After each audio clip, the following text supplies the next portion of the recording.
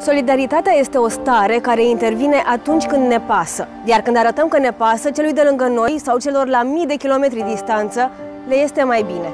Duminică, nu fugi de solidaritate.